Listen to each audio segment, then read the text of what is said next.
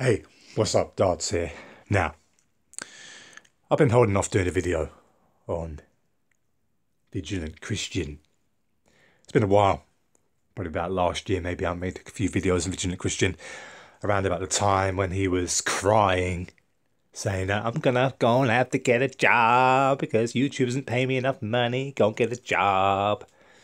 You know, meanwhile I'm working 40 to 50 hours a week in my job, or trying to also get a career, diplomas and so on, in electrical engineering, is the plan.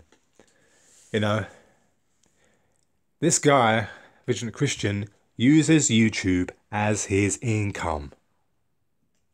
Yeah? So anything you see on the channel, okay, puts in the, you know, put it's put in a way to entice you to click on it. Hey, fellow Christians, I've reached millions of people, he says, all around the world. I've been, I've been able to, I've been able to reach millions of people around the world. Yeah, expose evil, blah blah blah blah. What about the evil that this guy's doing? Huh? Now, sex texting and all that kind of stuff to the side. Yeah. Uh, this guy's not a Christian, just like an ordinary guy. A normal man would do that sort of thing. Yeah and he should just claim to be a normal guy and not some sort of saint or leader of a Christian movement with his ministry. It's an embarrassment to Christianity. That's probably one of, one of the reasons why I can't call myself a Christian because there's too many people like this around. Okay, that have ulterior motives. I read the Bible. I see how it fits in real life. I don't agree with everything in there, but I try and uh, read and understand but there are definitely parts in the Bible that I have read that match up exactly to what I have experienced. It's a personal thing. Yeah? I also believe that Jesus was sacrificed and so on. Right?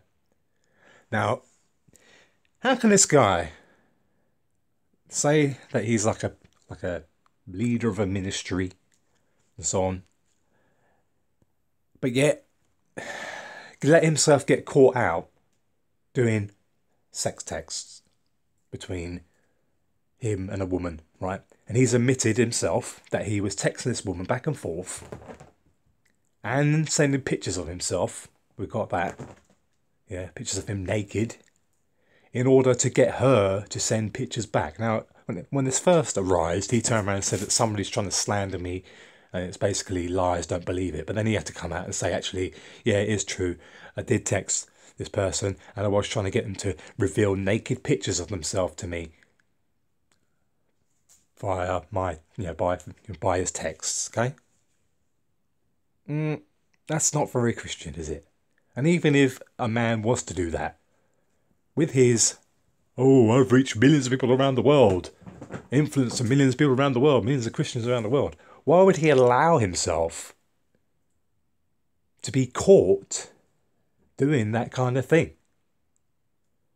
Being a Christian leader as he, as he claims to be, of his own little Christian ministry. Hmm? How can he allow himself to let somebody? Didn't he think to himself, "Oh, hold on a minute, couldn't this person take my photos or take my messages?" And how do you trust that person?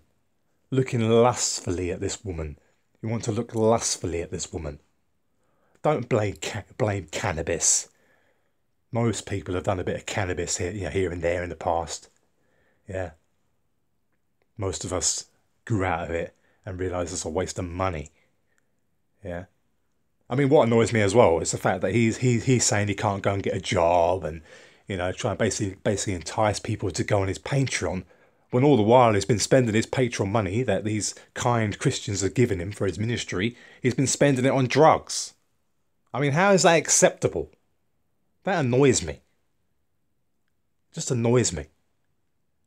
That people like this are leaders of movements that reach so many people and he was just so careless and so stupid. I mean, can't blame cannabis for all your problems and all your issues. Go and get a job, go and get a real career, and stop using YouTube as your way of making money. Yeah? That's my opinion, you know? But whatever.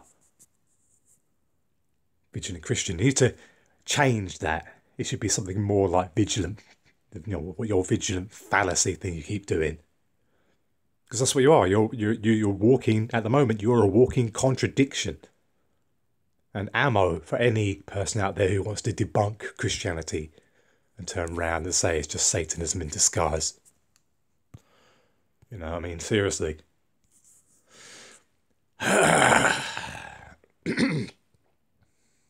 hmm.